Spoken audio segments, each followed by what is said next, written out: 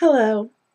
Although much of Confessions of a Hollywood Tantra Masseur is aimed at increasing pleasure for women, the author Jean Claude points out that a slower, sensual, more emotional, and tender approach to lovemaking can be equally enjoyable for men as well.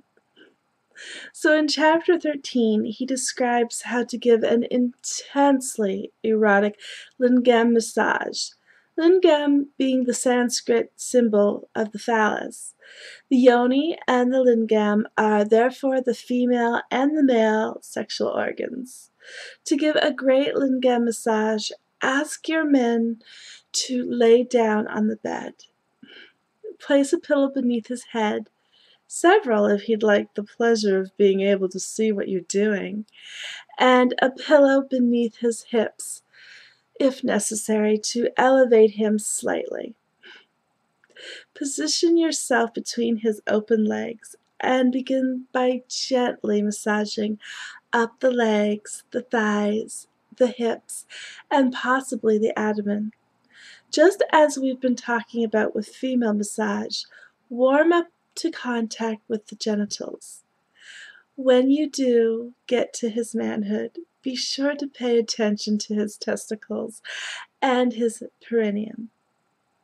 These are both highly sensitive areas so and are so capable of producing incredible pleasure. But it's also important to use slow, gentle strokes to begin if you're worried that you're not applying the right pressure. Ask him. And as for massaging the lingam, itself, bear in mind the aim is arousal and extended pleasure, not just a quick hand job. So move from base to tip in slow, even strokes. Build, us, build up his excitement without pushing him all the way to ejaculation. If he seems to be getting close to climax, slow down. You might even need to suspend your movement for a few seconds.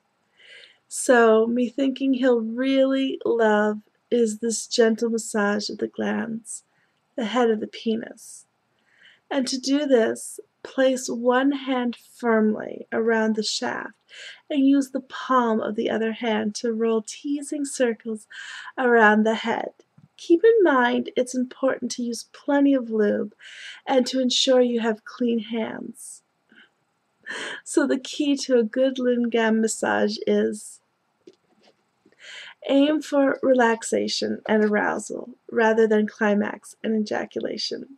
Make sure, though, that he knows this before you start. Don't forget men have lots of erogenous zones too. The backs of the legs, the inner thighs, the hips, the abdomen, etc., etc.